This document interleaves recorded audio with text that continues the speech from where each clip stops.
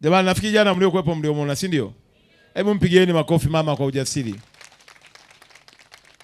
Kumbeba mwanaye sio kazi rahisi, lakini Mungu amempa uvumilivu na upendo, na kupitia wewe najua wako akina mama wengi watatiwa moyo ya kwamba iko siku Mungu atatokea kwenye maisha yao. Ndio. Eh, yani wewe kukutokatakata kwako tamaa, Ndio. haujakata tamaa, Ndio. hujamlaumu Mungu ndiyo, na umeendelea kumpenda na kumtuza mwanao. ndiyo. Hiyo ndio kwa sababu ya mimi kukwambia nitakupa mtaji. Amina. Biashara gani umeshawaza ya kufanya? Bado sijawaza. Bado hujawaza. Ndiyo, Sasa umechanganyikiwa na furaha au? ndiyo. Nikitoka nitaenda kuwaza, nitajadili. Sasa usije ukawa unawaza huku na ila. Hapana, hapana, kwa kweli, kwa sababu mateso uliopitia mimi nayajua. Mimi nakupa hii ni mbegu na mi napanda Ndiyo, mbegu. ndiyo, Naweka sadaka yangu. ndiyo. Nataka ikazae. Amina. Mbegu hailiwi. Ni kweli.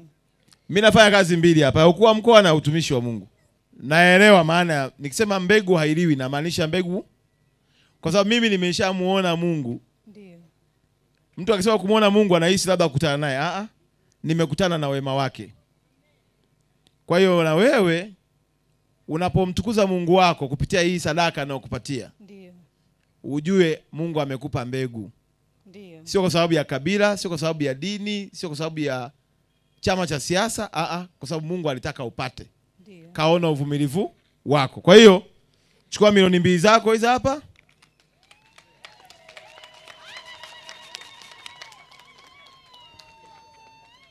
Na uchukue bima yako ya afya ya kwako na ya mdogo wangu kipenzi Regina. Mwambie nampenda. Na sasa nimemwambia RMO tunatafuta sehemu ya watakaoweza kutuchongea ile kiti kikubwa kile. ndiyo, Tukishapata mtaalamu tunatengeza na kile kiti, anapata na kiti chake, si ndio? ndiyo, Wewe unafanya biashara kidogo, unamwangalia mdogo wangu Ndiyo. na maisha yanaenda. Unapata na kapesa kwa kumhudumia na matibabu unaenda kupata bure. ndiyo. Na hii bima ya afya tumekata ile kubwa ya milioni moja na laki tano. Lakini mheshimiwa, hiyo bima inanionyesha meseji iliyoingia Mm. ni ya laki tatu na sitini. Nani amekata? Sijajua meseji ndio. Aya, kaa ile mo. Alamo. Bima ya shilingi ngapi imekata? Mimi nimesema jana upate bima ngapi? Ipi? kubwa. Nisema apate kubwa. Kwa hiyo nimepigwa hapa hapa. Ndiyo, Jana nimesema hata kama pesa hamna, chukueni kwenye posho za mkuu wa mkoa apate bima, isiye kama baadaye ikaja kwangu imetumika bima kubwa, kumbe. Lakini najua ni waaminifu, sijajua nini kimetokea. Sasa rekebisheni. Alani, hii ndio bima kubwa.